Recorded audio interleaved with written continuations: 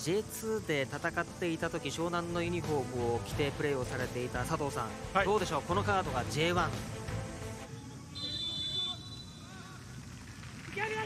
清水主審の笛が鳴ってゲームが始まりました。湘南ボールのキックオフです。大岩が深いところの指宿狙いで長い球を入れてきました。瀬古は使わず敵陣まで入ったセンターバックの井ノ葉に入れます。シンプルに裏。ボールを収めて一味サポートは松浦。割ってない。左足を松浦のシュートあっという間開始3分。横浜 FC 先手を取りました。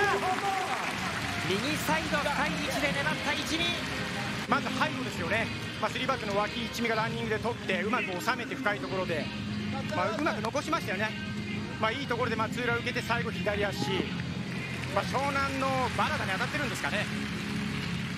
バラダじゃないですね。誰だろう大野ですかね。大野ですかね、はいはいはい、まあでも足振り抜いたところ決断が良かったですよね。そうですね。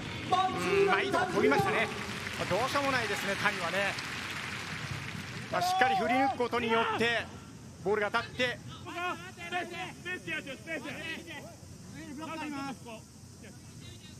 手前に佐藤健介が動いて少しサインプレー気味に入れてきた。一味のシュート。低い軌道で一味が合わせてきました。横浜 FC 決定機。ですけどこれです、ね、速くて、はい、前で少し人も反応してるんであどういう守りをするかとかそのあたりですねうまく曖昧な位置を取った一味から抜け出したスピードがあります。松尾北から J1 初ゴール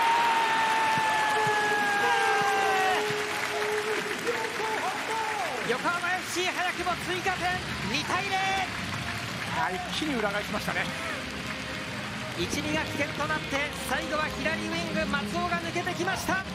まあ、うまく1枚ずつ剥がしながらシンプルに背後ですよね、はい、ぐっと前に出て速いですよね、まあ、ドリブルのコース取りも非常に良かったですし最後はキーパー外して冷静にシュートまでと。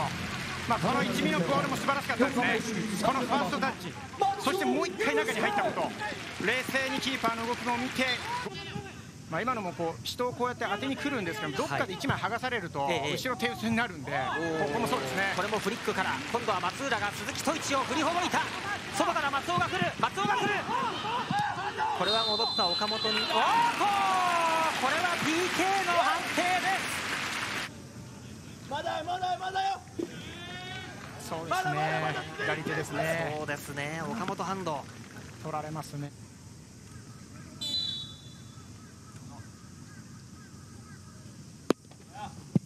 逆をついて決めました。これで3対0一味が PK を決めて4節仙台戦以来のシーズン3点目。快調なスタートを切りました横浜 FC まあ冷静にキーパーの動き見ながら逆をついて決めましたね。探しながら横につけた大岩。さあこっから横に小林がつけたんですが瀬古は松浦がいいところに浮きましたんでそこを見てました。動きをつける皆川外を見て松尾が飛び込んで松尾が打つ!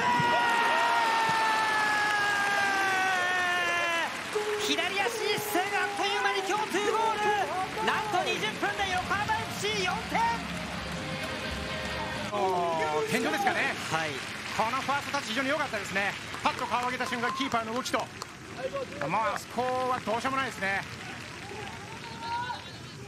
まあうまく上打ち抜きましたね、まあ、谷の。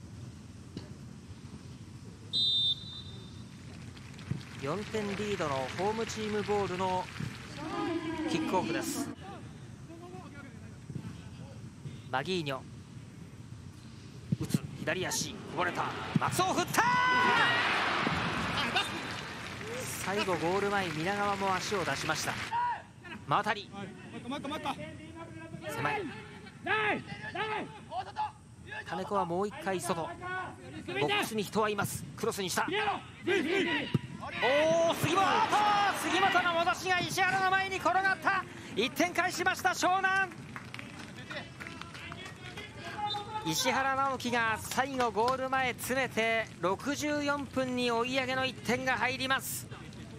インスイングでクロス入ってますからね、はい、何が起きるかわからないしそのポジションにしっかり石原もポジション取ったってことですね。このクロスに対してまあ杉本のクリアミスですけどいい場所に行きましたけど石原もポジションをしっかり取ってましたね。まあ一瞬石原の方が反応するのも早かったですしおお動きながら大野が出てきた。折り返してどうだら石原直樹。相変わらず打点の高いヘディングを見せました石原。このタイミングでタリクと小林は少し給水をしました。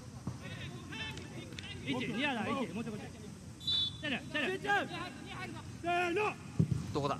奥まで伸ばして誰だ？ヘディング。岡本4対2もう1点返しました湘南。マインスイング。ここもいいところ入っていきましたね、うん、岡本。当て方も上手でしたしちょうど間にねゾーンの間ですよね。それでも杉本小林翔太がしつこくいく。隠す杉本足出したタリク。金子入れた石原落としてさあタリク。後ろから馬渡りだこれもいい崩しでした湘南。いや高いところからプレッシングして大岩。石原直樹。どよめきました三沢クロスバー直撃。まあ、しっかり抑えてインステップでかぶせて。あこれでゲーム終了の笛が鳴りました。横浜 FC リーグ戦の連敗5でストップ